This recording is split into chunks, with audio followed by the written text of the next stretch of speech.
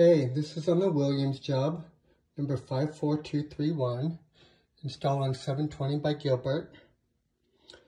So if you come down the stairs, um, it's kind of hidden. In the bathroom laundry room, there's this door here. And I don't know how he opened it, but the furnace room is behind this door. Um, there's also another door here to the pan in the pantry. Anyway, um, so the new furnace will sit 10 and a half inches from this 2x4 wall. I marked it. Um, it'll sit the same.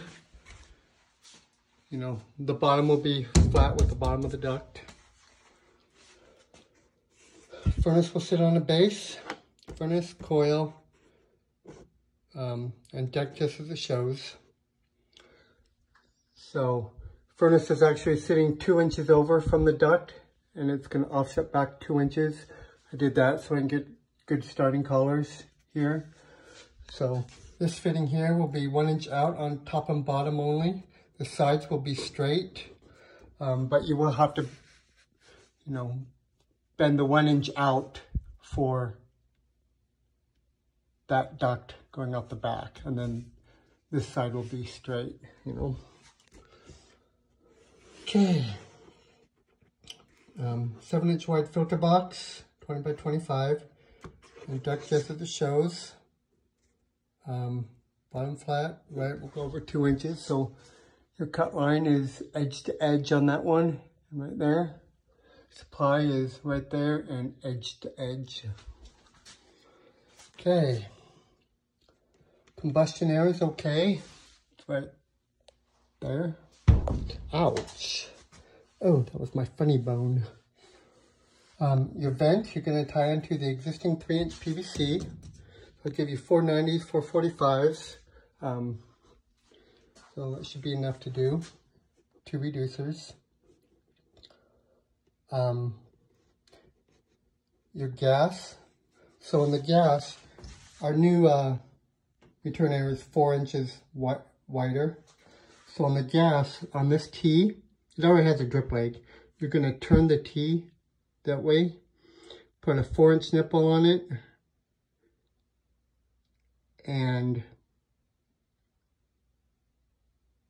um, a 90, then a flex, and you're going to reuse this long nipple that comes out of the furnace to our new furnace. So out of the furnace, you have a close, a 90, close, and a 90. Then reuse that 24 inch nipple. Okay. Um,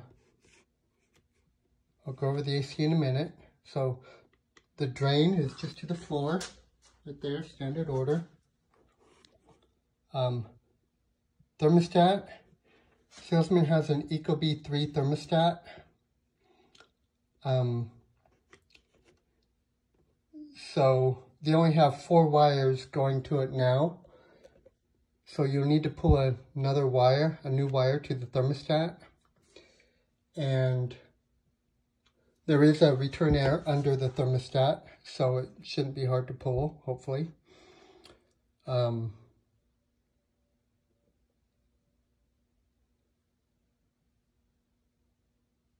But yeah, I would pull a new eight wire.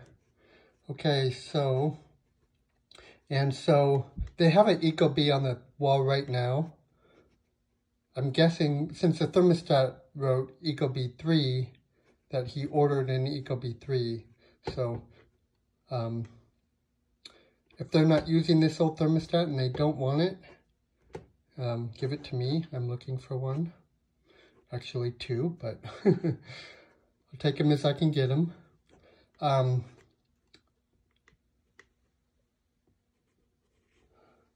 okay, so on the um, air conditioner, so I'm going to replace the Rubatex as needed.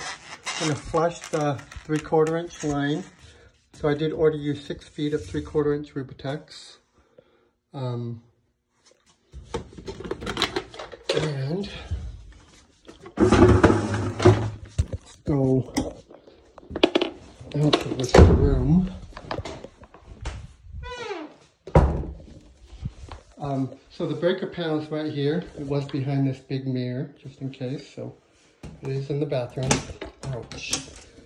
The existing breaker is 40 amp Homeline.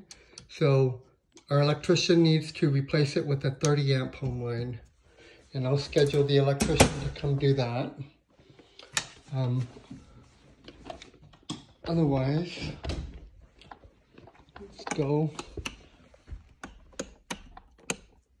turn off all these lights.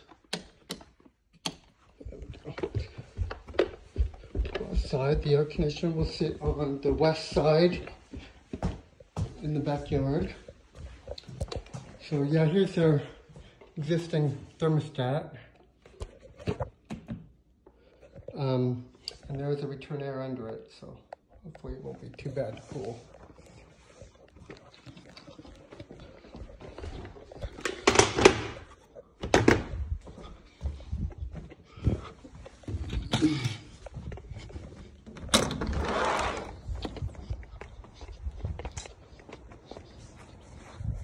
Okay.